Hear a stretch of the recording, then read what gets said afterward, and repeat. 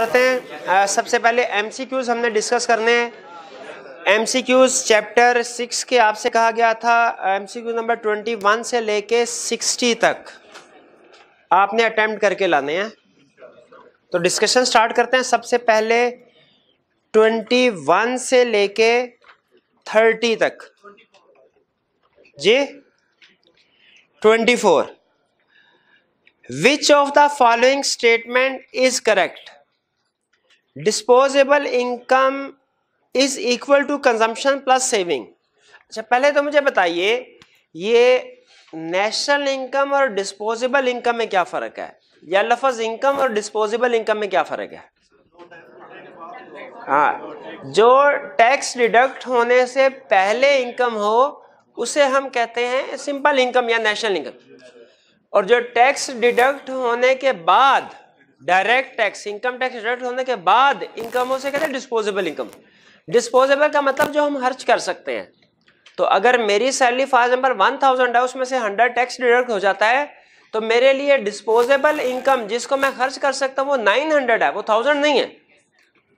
अच्छा जो nine hundred है, इसके मजीद कितने पार्ट्स होते हैं? दो। या तो मैं इस नाइन हंड्रेड को खर्च करूँगा या सेव करूँगा। तो disposable income is equal to consumption plus saving यानी जो चीज़ें मैं कंज्यूमर गुड्स खरीदने में जो पैसे लगा दूँगा, वो मेरी कंजम्पशन है। और मैंने जो इसमें से अगर फ़र्ज़ कीजिए कि 700 में खर्च कर लेता हूँ 200 बचा लेता हूँ तो मेरी डिस्पोजेबल इनकम 900 और मेरी कंजम्पशन 700 सेविंग कितनी हुई? 200 तो इसका मतलब ये हुआ कि जो पहली बात कर रहा है disposable income is equal to consumption plus saving ये ठीक कर रहा है। कंजम्पशन सेविंग को ऐड करें तो डिस्पोजेबल इनकम बनती ठीक कह रहा है disposable income is equal to personal income less personal taxes अब मेरी जो वन थाउज़ेंड है, वो मेरी पर्सनल इनकम है। मेरी वन थाउज़ेंड क्या है? पर्सनल इनकम उसमें से जो टैक्सेस लेस कर दें तो डिस्पोजेबल ये भी ठीक बात कर रहा है। कि डिस्पोजेबल इनकम है पर्सनल इनकम यानी जो मुझे वन थाउज़ेंड मिला माइनस डायरेक्ट टैक्सेस जो मेरे पर्सनल टैक्सेस हैं one hundred is equal to nine hundred ये भी डिस्पोजेबल इनकम है। और चूँकि डिस्पोजेबल इनकम के दो हिस्से होते हैं, या कंजम्पशन या सेविंग दोनों को ऐड कर लें, ये भी डिस्पोजेबल इनकम बनेगा। थर्ड में क्या कह रहा है? Disposable income is either spent on consumer goods and services or saved कि डिस्पोजेबल इनकम या तो कंज्यूमर गुड्स पे खर्च की जाती है या सेव की जाती है। ये भी ठीक कर रहा है। ये सी बेसिकली पार्ट एक ही इलेबोरेशन है। तो मतलब तीनों स्टेटमेंट्स उसकी करेक्ट हैं। तो करेक्ट ऑप्शन क्या होगी? B D all of the above ठीक है? ऑल ऑफ़ द अबव इसमें सबसे अहम लाइन ए है। ए बी सी तीनों करेक्ट हैं। लेकिन सबसे अहम लाइन क्या है? ए इसको हाईलाइट करें। कि हमारी इनकम जो होती है, इसके दो हिस्से होते हैं कंजम्पशन और एक से जी नेक्स्ट थर्टी तक और कोई question twenty five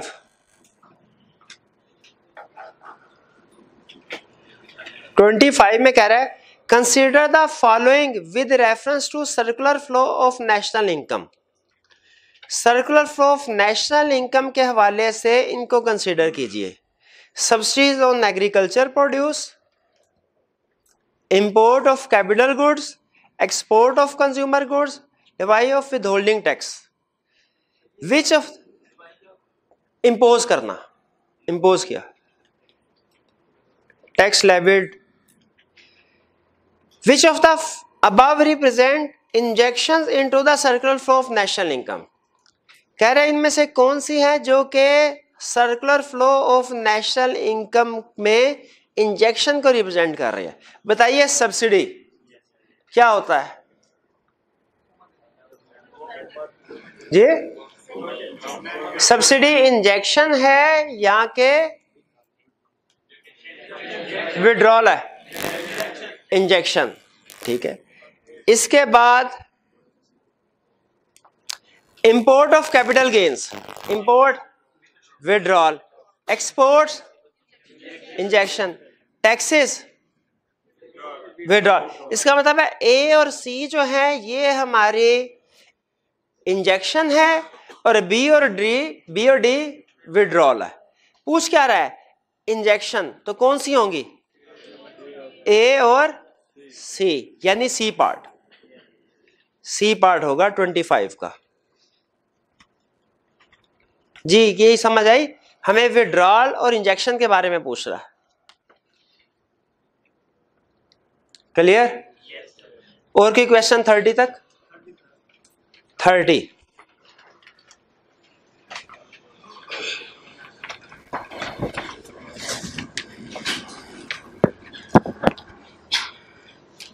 which of the following represents a withdrawal from the circular flow of national income Rise in consumption, deficit in balance of trade. Balance of trade किसको कहते हैं? देखिए बैलेंस ऑफ़ ट्रेड या balance of payment फ़िलहाल एक ही चीज़ समझे। यहाँ पे लिख लीजिए बैलेंस ऑफ़ ट्रेड या बैलेंस ऑफ़ पेमेंट एक ही बात समझिए कंजम्पशन इंक्रीज होगी। क्या ये विड्रॉल है? Deficit in balance of trade deficit का मतलब क्या है? डेफिशिट का मतलब इंपोर्ट ज़्यादा है एक्सपोर्ट्स कम है। अगर इंपोर्ट ज़्यादा है एक्सपोर्ट कम है, ये क्या होगा? डेफिशिट विड्रॉल और अगर सरप्लस का मतलब क्या है? एक्सपोर्ट ज़्यादा है इंपोर्ट कम है। इसका मतलब है नेट एक्सपोर्ट है। ये क्या होगा? इंजेक्शन तो उसने विड्रॉल का पूछा है। करेक्ट ऑप्शन क्या हुई? बी जी, और कोई क्वेश्चन थर्टी तक और कोई क्वेश्चन नहीं? चलिए थर्टी वन से फोर्टी तक। Thirty one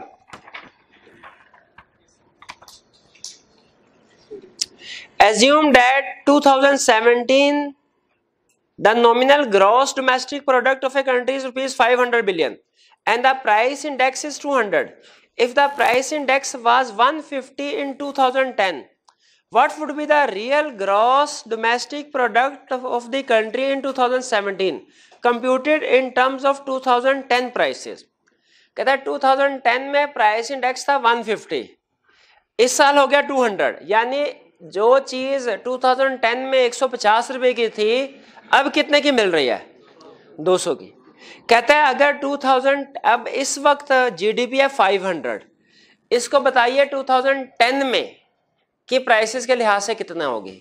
यानी हमने इसको डिस्काउंट करना है। 2010 में आपने वो स्टैट में पढ़ा होगा इंडेक्स नंबर उसमें बताया करता था कि अगर एक ईयर में प्राइस लेवल ये है और सेकंड ईयर में प्राइस लेवल ये है तो हमने उसको डिस्काउंट बेस रेट के ऊपर कैलकुलेशन करनी होती थी। ये वही क्वेश्चन है। ठीक है? 2010 इसका बेस ईयर है। 2010 में प्राइस लेवल कितना था? 150 इस साल कितना है? 200 और इस साल की जीडीपी 500 अब हमने इसे बेस ईयर पे कैलकुलेट करना है। क्या करेंगे? 500 divided by divided by, price index इस वक्त 200 है। यानी प्राइसेस बड़ी हैं। प्राइसेस बड़ी है। तो इस वक्त बताइए हमारा जो रियल जीडीपी कैलकुलेट होगी, वो ज़्यादा होगी या कम होगी? रियल जीडीपी हमेशा नॉमिनल जीडीपी से कम होती है। तो हाँ इन्फ्लेशन की वजह, बताइए प्राइस लेवल 150 से 200 हुआ इन्फ्लेशन हुई या डिफ्लेशन अब आज की अगर जीडीपी है, उसे हमने बेस ईयर पे कैलकुलेट करना है जीडीपी कम होगी, ज़्यादा होगी? कम होगी। अब बताइए, कितने परसेंट प्राइसेस इंक्रीज हुई हैं? जितने परसेंट हुई है प्राइस इंक्रीज उतने से उसको हम डिवाइड कर देंगे। या simply 500 divided by 200 multiply by 150 ठीक है? ये कैलकुलेशन समझ आई आपको? भाई जीडीपी डिफ्लेटर का फार्मूला क्या था? Inflation rate. Inflation rate calculate करे कितना? कैलकुलेट कर। भाई, नॉमिनल जीडीपी को रियल जीडीपी कन्वर्ट करने के लिए जीडीपी डिफ्लेटर चाहिए होता है ना। अच्छा जबानी कलामी करेंगे कभी कुछ समझ नहीं आएगा। मुँह उठा के ना ऐसे बैठे रहे, मुझे देखते रहे और कैलकुलेटर निकालें, कैलकुलेशन करें। थक गए हैं, क्या करते हैं? खुदा ही करते हैं। जी। 200 डिवाइडेड बाय 150 हाँ जी, बिल्कुल 150 ऐसे भी कैलकुलेशन कर सकते हैं। दूसरा तरीका जीडीपी डिफ्लेटर कैलकुलेट करके। जीडीपी डिफ्लेटर क्या आएगा? 200 डिवाइडेड बाय 150 जी? वन पॉइंट इससे 500 को डिवाइड कर दीजिए। रियल जीडीपी ऐसे ही होता है ना nominal GDP divide by GDP deflator. तो जी नॉमिनल जीडीपी 500 है। डिवाइडेड बाय जीडीपी डिफ्लेटर आपने कैलकुलेट किया। कितना आंसर आया? 375 सी ऑप्शन करेक्ट है। लेकिन कैलकुलेशन समझ नहीं है जहाँ पे कैलकुलेशन आती है, हमारे बारह बज जाते हैं।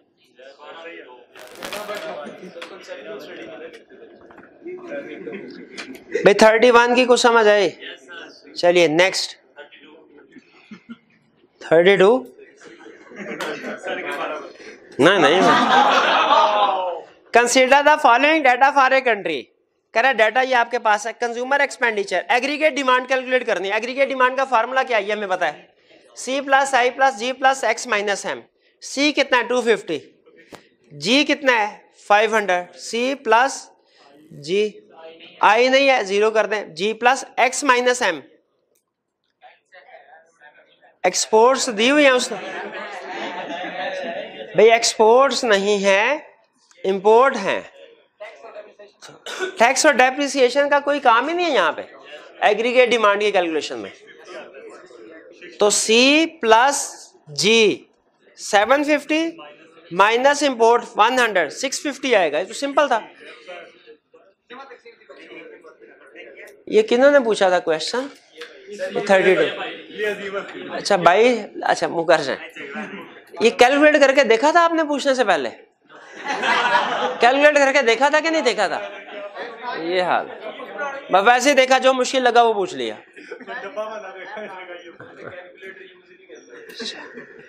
जी थर्टी वन से फोर्टी तक और कोई क्वेश्चन पूछना चाहते हो, पूछ ले। Thirty four when economy speak of investment they are speaking of part of G D P use by household for current use GDP का वो हिस्सा जो हाउस होल्ड यूज़ कर, वो तो कंजम्पशन होता है भाई। B the part of GDP past and present that has been set aside to add to productive capacity जो कि अलहदा रख दिया गया है, ताकि बाद में प्रोडक्शन कैपेसिटी को यूज़ करने के लिए इस्तेमाल किया है वो तो सेविंग जो सेट असाइड है, वो तो सेविंग होगी हमारी।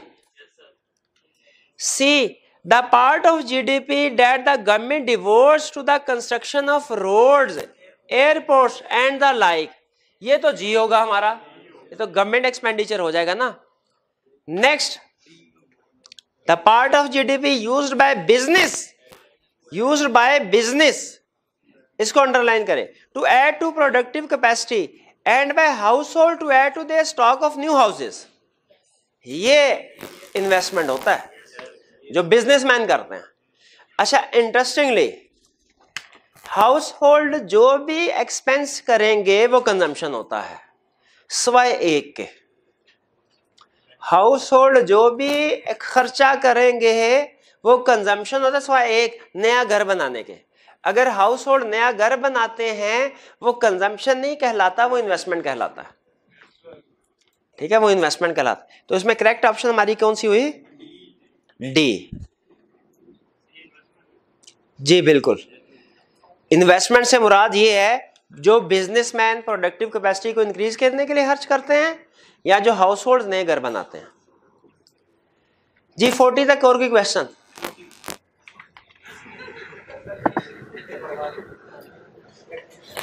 जी forty gross domestic product GDP equal GNP minus net foreign income ये फॉरेन इनकम पता आपको क्या होती है net foreign income net property from abroad जब जीडीपी में से net property from abroad add करते हैं लेस करते हैं?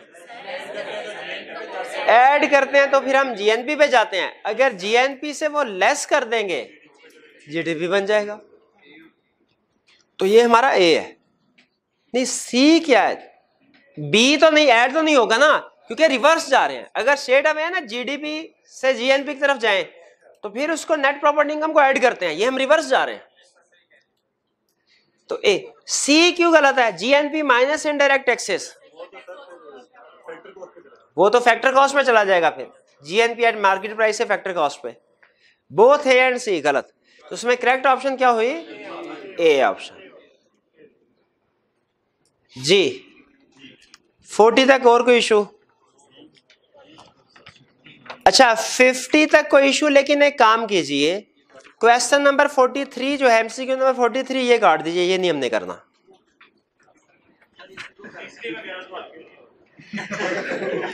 और आपने दस घंटे इसी क्वेश्चन को समझने में लगा दिए होंगे, है ना? फोर्टी फोर्ट जी फिफ्टी तक कोई क्वेश्चन हो तो पूछ लीजिए। नहीं नहीं पेंडिंग नहीं, इसको काट दें। फोर्टी थ्री काट दीजिए। जी, और की question forty one forty one सुनिए disposable income is the same as personal income personal income disposable income एक ही है, अब भी बड़ा है। क्या है?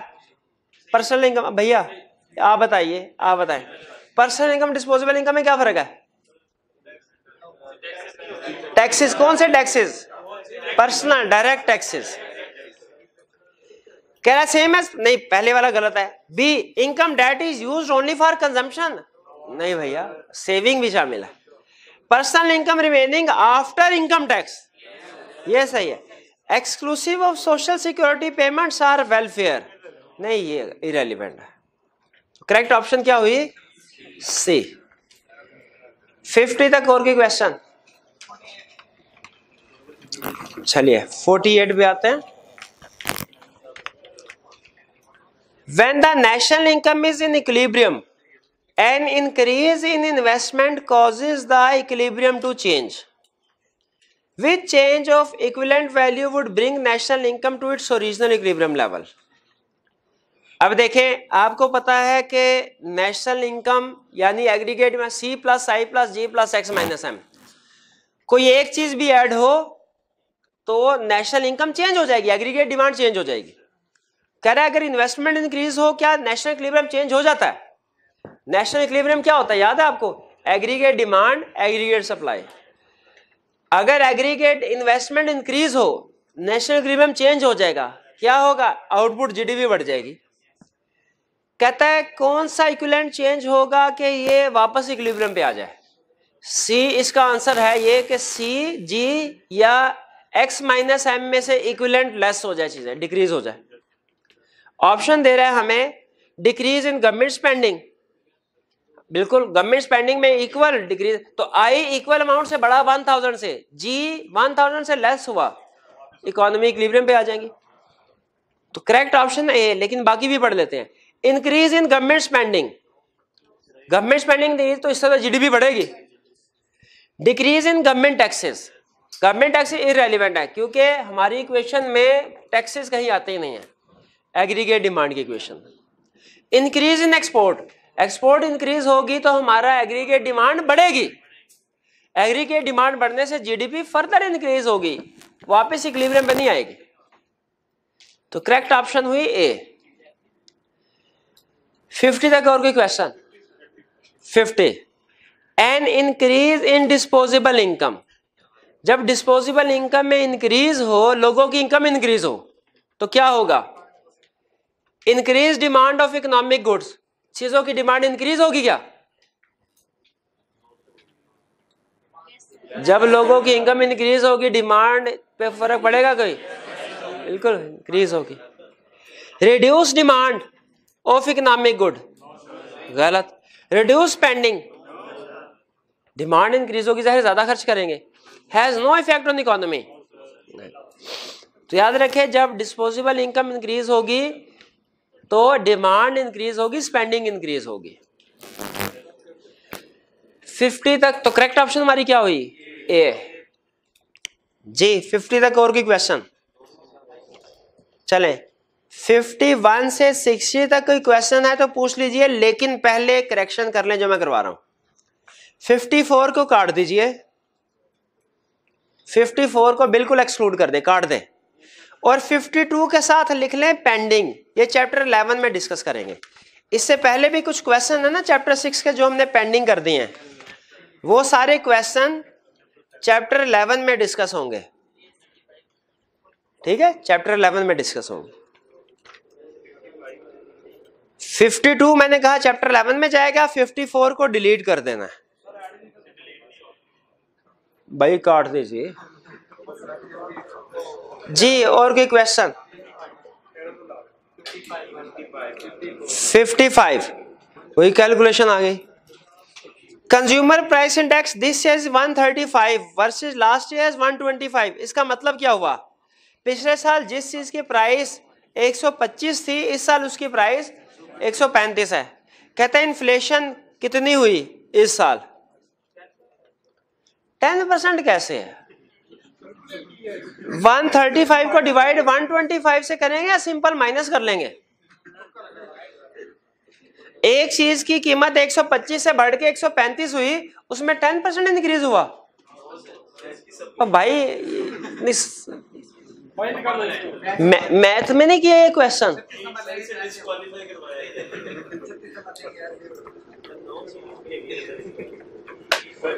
करें कैलकुलेशन करें जरा। Eight percent. कैसे कैलकुलेट किया? One thirty five divide by one twenty five. अब वो कहेगा, सर, ये तो एक सौ आठ आ रहा है। देखना।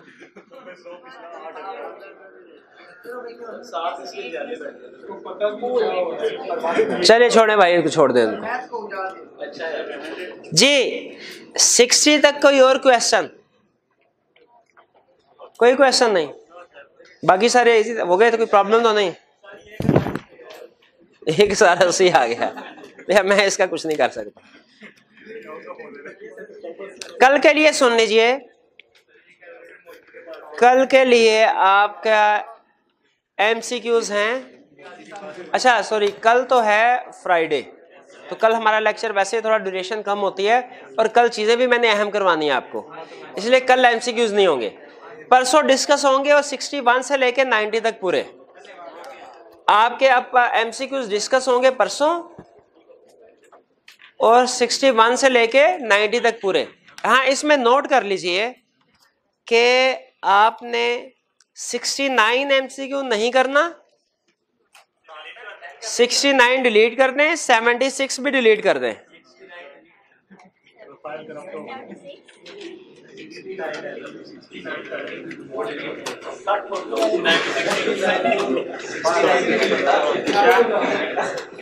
हाँ जी।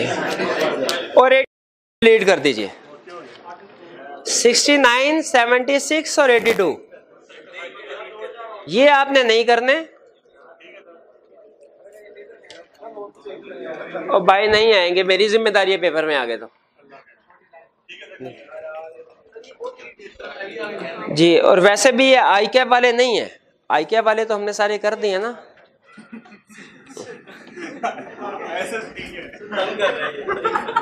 जी, चलिए बस कर लीजिए, अब वापस टॉपिक की तरफ़ चलते हैं। प्रीवियस लेक्चर में हमने चैप्टर सिक्स को कंक्लूड किया। चैप्टर सिक्स में कोई क्वेश्चन पूछना चाहते हो, पूछ लीजिए। जी।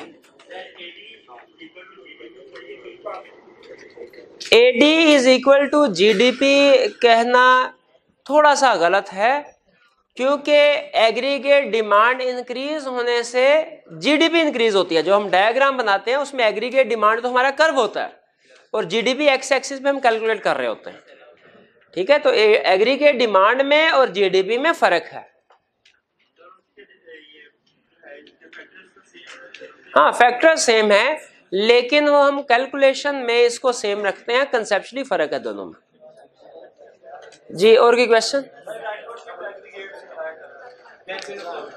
केंजियन अप्रोच में एग्रीगेट सप्लाई का राइटवर्ड शिफ्ट उससे क्या फ़र्क पड़ेगा? चलिए, सुन लीजिए। इन्होंने कहा, सर केंजियन अप्रोच में चेंज इन इक्लिब्रियम बता दीजिए एग्रीगेट सप्लाई हमने लास्ट लेक्चर में एग्रीगेट डिमांड का तो शिफ्ट सीखा था। सप्लाई का नहीं सीखा। वो इसलिए मैंने नहीं करवाया था कि उससे फ़र्क कोई नहीं पड़ता। बहरहाल, मैं बता देता हूँ आपको। ये है जीडीपी अटेंटिव हो जाइए जरा। जीडीपी या नेशनल आउटपुट यहाँ पे है एवरेज प्राइस लेवल ये हमारा एग्रीगेट सप्लाई कर एग्रीगेट सप्लाई ये एग्रीगेट डिमांड का। इक्लिब्रियम पॉइंट हमारा क्या हुआ? E naught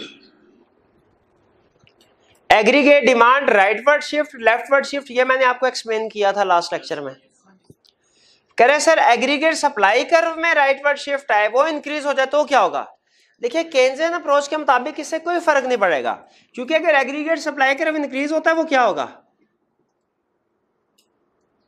तो ये होगा एग्रीगेट सप्लाई में इंक्रीज अब बताइए क्या एग्रीगेट सप्लाई इंक्रीज होने से इक्विलिब्रियम पे फ़र्क पड़ा? कोई फ़र्क नहीं पड़ा। ठीक है? इसी तरह अगर एग्रीगेट सप्लाई डिक्रीज हो जाए, वो यहाँ पे आ जाएगा। फिर भी कोई फ़र्क नहीं पड़ेगा। तो अगर इकोनॉमी स्पेयर कैपेसिटी पे है, इससे केज ने क्या नतीजा निकाला? अगर इकोनॉमी स्पेयर कैपेसिटी पे है तो एग्रीगेट सप्लाई के इंक्रीज डिक्रीज होने से कोई फ़र्क नहीं पड़ता। हाँ अगर इकोनॉमी फुल कैपेसिटी पे है, फिर एग्रीगेट सप्लाई से फ़र्क पड़ेगा। हाँ जी, बिल्कुल। ठीक है? जैसे अगर फ़र्ज़ कीजिए, वो भी दिखा दूँ आपको? स्पेयर कैपेसिटी अगर फ़र्ज़ कीजिए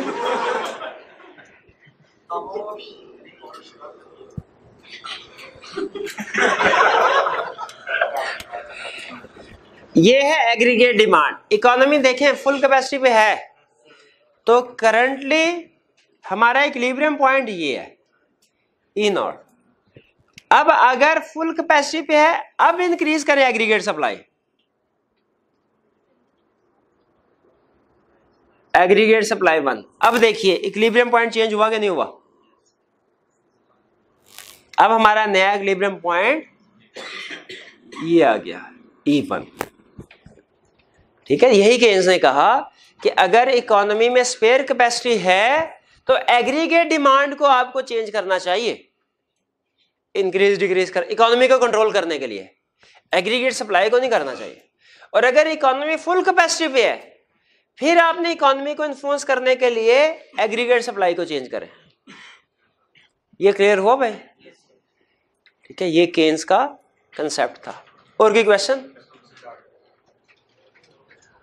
कोई कंसेप्ट चलिए।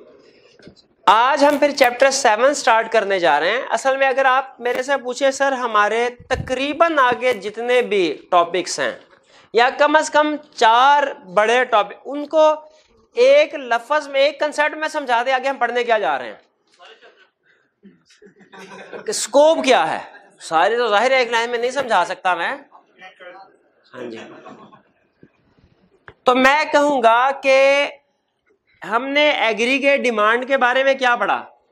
Aggregate demand is equal to C plus I plus G C plus I plus G plus यही क्वेश्चन पढ़ी। हमने अगले जो हमारे चार बड़े चैप्टर्स हैं, उनमें हम इन्हीं चारों कंपोनेंट्स को डिटेल में स्टडी करेंगे। एक चैप्टर में पढ़ेंगे कंजम्पशन क्या है? इसके डिटर्मिनेंट्स क्या हैं? किन चीज़ों की वजह से कंजम्पशन इंक्रीज या डिक्रीज देखिए एग्रीगेट डिमांड इकोनॉमी को इन्फ्लुएंस करती है। एग्रीगेट डिमांड इन चारों पे डिपेंड करती है। अब अगर हम सब्जेक्ट को डिटेल में पढ़ना चाहते हैं तो हमें यह देखना पड़ेगा कि फिर ये वाले डिटर्मिनेंट किन पे डिपेंड करते हैं? एग्रीगेट डिमांड इकोनॉमी को कंट्रोल करती है इन्फ्लुएंस करती है। एग्रीगेट डिमांड इन पे बेस करती है तो फिर अगर हम सब्जेक्ट को मजीद डिटेल में पढ़ना चाहते हैं तो हमें सीखना पड़ेगा कि ये जो चार फैक्टर्स हैं, ये किन चीज़ों पर डिपेंड करते हैं। ठीक है? मजीद डिटेल में पढ़ना पड़ेगा। तो अब जो हमारे नेक्स्ट टॉपिक होंगे, उनमें हम कंजम्पशन को डिटेल में स्टडी करेंगे। फर्दर एनालिसिस इन्वेस्टमेंट को डिटेल में एनालिसिस करेंगे। गवर्नमेंट स्पेंडिंग का डिटेल में एनालिसिस करेंगे। और एक्सपोर्ट और इंपोर्ट का डिटेल में एनालिसिस करेंगे। ठीक है? एक चैप्टर हमारा होगा जिसमें बल्कि दो चैप्टर्स होंगे। एक में हम टैक्स की बात कर रहे होंगे और एक में गवर्नमेंट एक्सपेंडिचर की बात कर रहे होंगे। यहाँ पे तो गवर्नमेंट एक्सपेंडिचर है ना लेकिन जब हम डिटेल में स्टडी करेंगे तो ये पढ़ेंगे कि गवर्नमेंट एक्सपेंडिचर कम ज़्यादा होता है एक, एक बड़ा फैक्टर होता है टैक्स कि टैक्स कितना आया? तो गवर्नमेंट एक्सपेंडिचर और टैक्स चूँकि इंटर रिलेटेड है तो हमने एक टॉपिक में डिटेल में पढ़ना है टैक्स सिस्टम के बारे में और एक में पढ़ेंगे गवर्नमेंट एक्सपेंडिचर के बारे बारे में।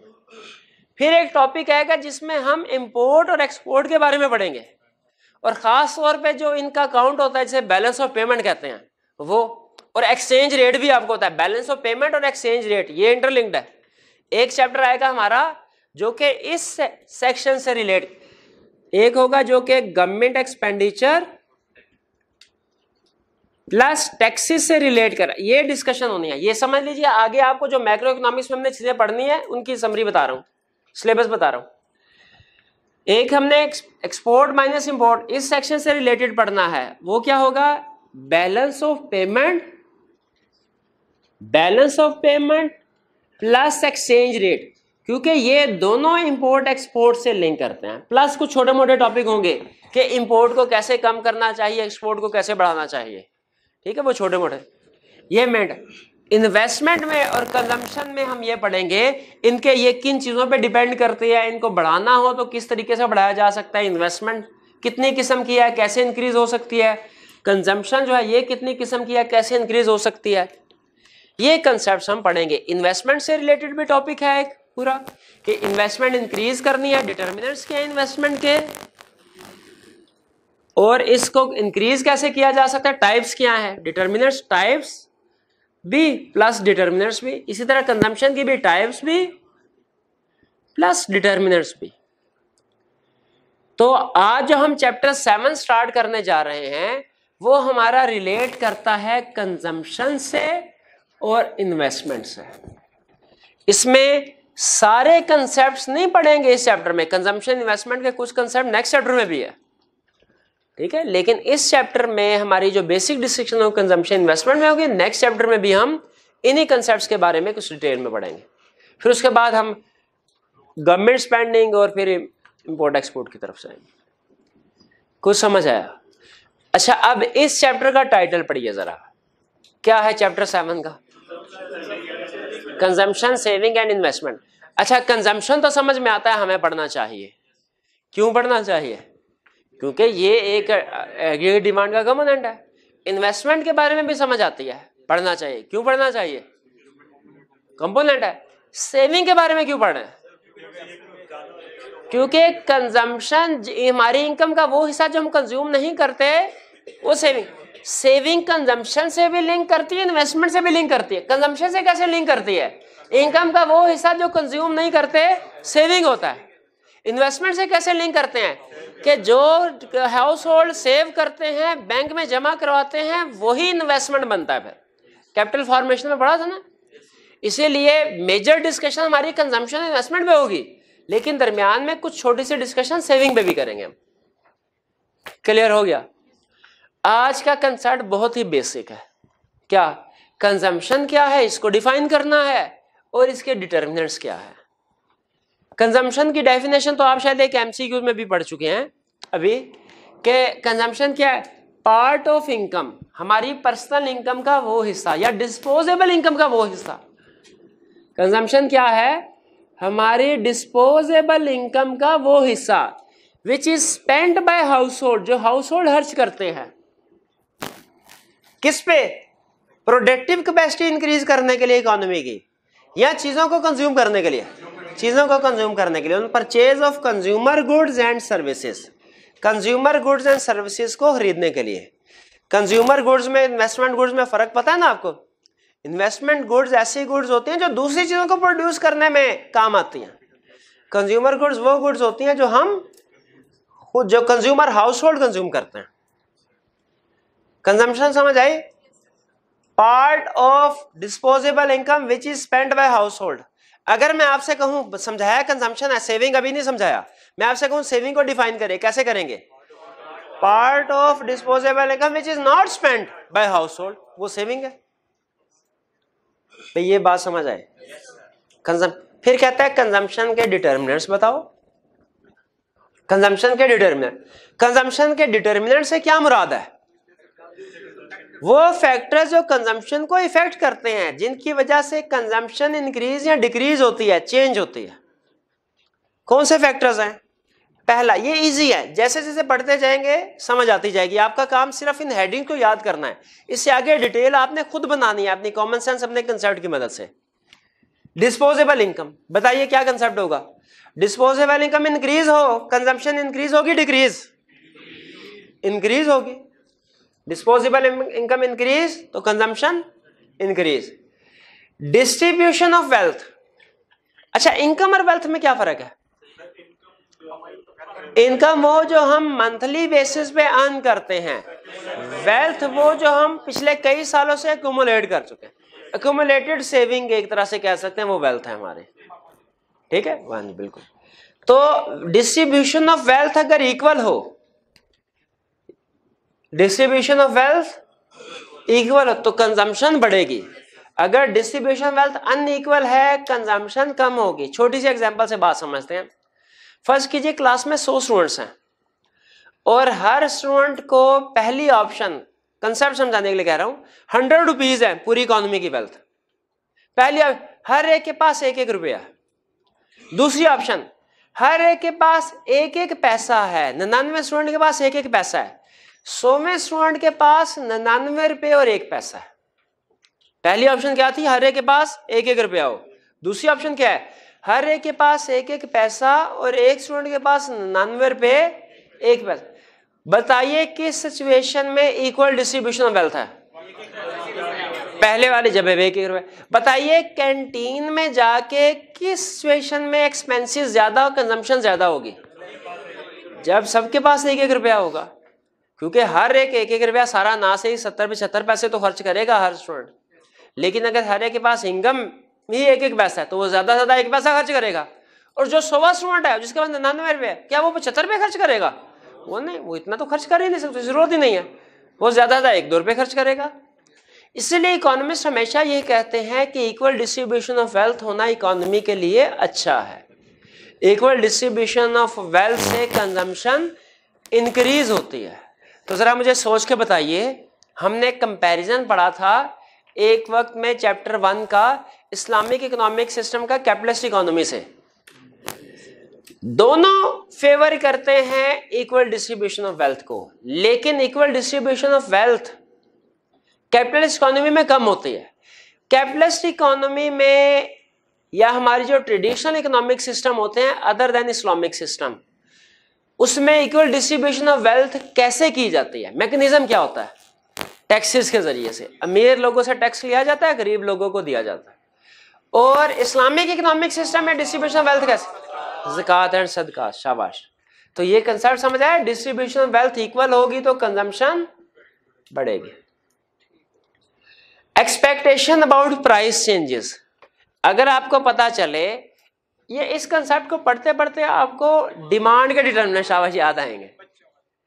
एक्सपेक्टेशन अबाउट प्राइस चेंज आज को पता चले पेट्रोल की प्राइस इंक्रीज होने वाली है।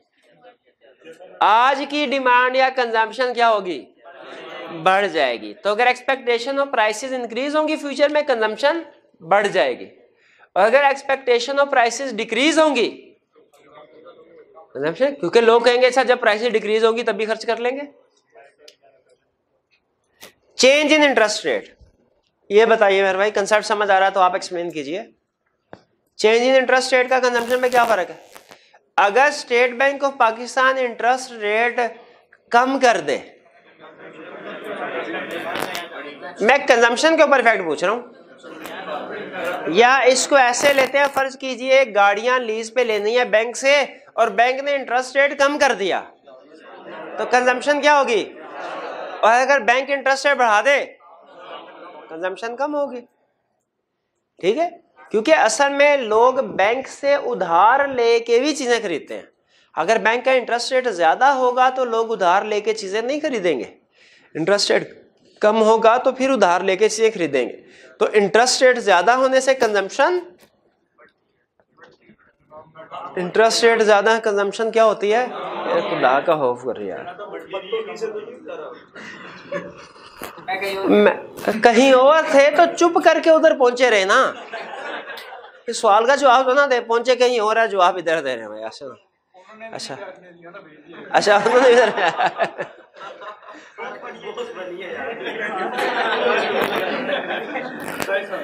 इंटरेस्ट रेट इंक्रीज होगा। कंजम्पशन क्या होगी? कंजम्पशन डिक्रीज हो जाएगी। इंटरेस्ट रेट डिक्रीज होगा तो कंजम्पशन बढ़ जाएगी। Change in tax rate tax rate का भी इफ़ेक्ट तकरीबन वही है जो इंटरेस्ट रेट का। है टैक्स रेट बढ़ेगा। अगर मेरी जो इनकम है उस पर ज़्यादा टैक्स लग जाए, मेरी डिस्पोजेबल इनकम कम होगी मेरी डिस्पोजेबल इनकम कम होगी तो मेरे पास खर्च करने के लिए पैसे भी कम होंगे। हमारा कंजम्पशन कम हो जाएगी। टैक्स रेट इंक्रीज होगा कंजम्पशन कम हो जाएगी। और अगर टैक्स रेट डिक्रीज होगा कंजम्पशन ज़्यादा हो जाएगी। क्रेडिट अवेलेबिलिटी उधार की सहूलत मौजूद है। तो उधार की क्रेडिट अवेलेबिलिटी मौजूद है कंजम्पशन ज़्यादा हो जाएगी। अगर क्रेडिट अवेलेबिलिटी मौजूद नहीं है अच्छा अब ये अहम concept money supply supply of money से मुराद क्या है? मुल्क में जो करेंसी नोट्स हैं सर्कुलेशन में, ये कितने हैं? गवर्नमेंट जब नए नोट छापती है मार्केट में, नए करेंसी नोट्स तो हम कहते हैं मनी सप्लाई इंक्रीज हो गई। इकोनॉमी में पाकिस्तान में जितने करेंसी नोट सर्कुलेट हो रहे हैं, अगर इनकी तादाद बढ़ जाए, हम कहेंगे मनी सप्लाई इंक्रीज हो गई। और अगर गवर्नमेंट नए नोट ना छापे, पुराने नोटों को कैंसिल करना शुरू कर दे तो सप्लाई ऑफ़ मनी मुझे जरा सोच के बताइए, जब पाँच हज़ार का नोट छपा, पहले नहीं होता था पाँच हज़ार का, पाँच हज़ार का नोट छपने से मुल्क में सप्लाई ऑफ़ मनी इंक्रीज हुई डिक्रीज हुई? इंक्रीज हुई। और अगर गवर्नमेंट आज कैंसिल कर दे पाँच हज़ार का note supply of money decrease इस तरह हर ईद पे जब गवर्नमेंट नए नोट छापती है सप्लाई ऑफ़ मनी इंक्रीज होती है डिक्रीज इंक्रीज होती है, बढ़ती है। सप्लाई ऑफ़ मनी इंक्रीज होने से लोगों के पास ज़्यादा पैसे अवेलेबल होते हैं खर्च करने। कंजम्पशन पे क्या फ़र्क पड़ेगा? इंक्रीज हो जाती है। और सप्लाई ऑफ़ मनी डिक्रीज होने से डिक्रीज ये कंसेप्ट देखने में सिंपल है, लेकिन आगे चल के एक लॉ बनेगा ये। कि सप्लाई ऑफ़ मनी इंक्रीज होने से कंजम्पशन इंक्रीज होती है और सप्लाई ऑफ़ मनी डिक्रीज होने से कंजम्पशन डिक्रीज होते हैं। और ये भी एक लॉ बनेगा ये। दोनों कंसेप्ट सिंपल है। जैसे लॉ ऑफ़ डिमांड था ना, था वो भी सिंपल पहला और आखिरी डिटर्मिनेंट्स क्लियर हुए कंजम्पशन के आपको? जी तो जरा मुझे बताइए डिस्पोजेबल इनकम इंक्रीज हुई कंजम्पशन में क्या फ़र्क पड़ेगा? इंक्रीज डिस्पोजेबल इनकम अच्छा अब इंक्रीज डिक्रीज ने हम कम ज़्यादा करेंगे, ताकि क्लियर वरना इंक्रीज डिक्रीज मिक्स हो जाता है। डिस्पोजेबल इनकम ज़्यादा हुई कंजम्पशन ज़्यादा डिस्पोजेबल इनकम कम हुई तो? कंजम्पशन भी कम हो जाएगी। डिस्ट्रीब्यूशन ऑफ़ वेल्थ इक्वल है। कंजम्पशन ज़्यादा डिस्ट्रीब्यूशन ऑफ़ वेल्थ अनइक्वल है। एक्सपेक्टेशन है फ्यूचर में प्राइसेस डिक्रीज होंगी। कम एक्सपेक्टेशन है फ्यूचर में प्राइसेस इंक्रीज होंगी। Central bank State Bank of Pakistan ने इंटरेस्ट रेट वन परसेंट से बढ़ा दिया। और अगर टू परसेंट से कम कर दिया गवर्नमेंट ने टैक्स रेट टेन की बजाय ट्वेल्व परसेंट कर दिया। और टेन की बजाय सेवन परसेंट कर दिया। ज़्यादा हो जाएगी। क्रेडिट अवेलेबिलिटी ज़्यादा है फेवरेबल टर्म्स में क्रेडिट अवेलेबल है। कंजम्पशन ज़्यादा होगी। Supply of money increase supply of money कम हो गई। कंजम्पशन भी कम हो गई। क्लियर हो गया ये। अच्छा आपको केन्स का एक असूल ना बता दू। कल के लेक्चर की बेसिक्स है। तीन तीन स्टेटमेंट देने लगा हूँ, तीनों इंटर रिलेटेड है। जिसको समझ आ गया, उसको केन्स का लॉ समझ आ गया। इसे कहते हैं Keynes psychological law of consumption क्या कहते हैं? केन्स साइकोलॉजिकल लॉ या सिंपल लॉ ऑफ़ कंजम्पशन भी कहते हैं। केन्स का लॉ ऑफ़ कंजम्पशन असल में केन्स जो था, उसने रिसर्च की कंजम्पशन के ऊपर। के ये डिटर्मिनेंट्स तो हैं कंजम्पशन के, लेकिन उसने कहा, मैं देखता हूँ लोगों का बिहेवियर कैसा होता है। कंजम्पशन बिहेवियर के ऊपर लोगों ने स्टडी करने की कोशिश की केन्स ने। केन्स ने क्या स्टडी करने की कोशिश की? लोगों के कंजम्पशन बिहेवियर के ऊपर, कि लोग कब कंजम्पशन ज़्यादा करते हैं, कब कम करते हैं। उसे तीन हैरत अंगेज अजीब बातें पता चले। तीन, इनको नाम देते हैं लॉ ऑफ़ कंजम्पशन का। पहले बात, जब लोगों की इनकम इंक्रीज होती है, उनकी कंजम्पशन भी इंक्रीज होती है। नहीं, ये बात अजीब नहीं लगी आपको? दूसरी बात अजीब लगेगी फिर। पहली बात क्या है? जब लोगों की इनकम इंक्रीज होती है कंजम्पशन ज़्यादा होती है। दूसरी बात, लेकिन जितनी इनकम बढ़ती है, उतनी कंजम्पशन नहीं बढ़ती। क्यों? कुछ ना कुछ। हाँ। पहले क्या बताया उसने? इनकम इंक्रीज होगी कंजम्पशन बढ़ेगी। दूसरी बात क्या बताई? Increase in consumption is not is equal to increase in income तीसरी इनकम का वो हिस्सा जो कंज्यूम नहीं किया जाता, वो सेव किया जाता। है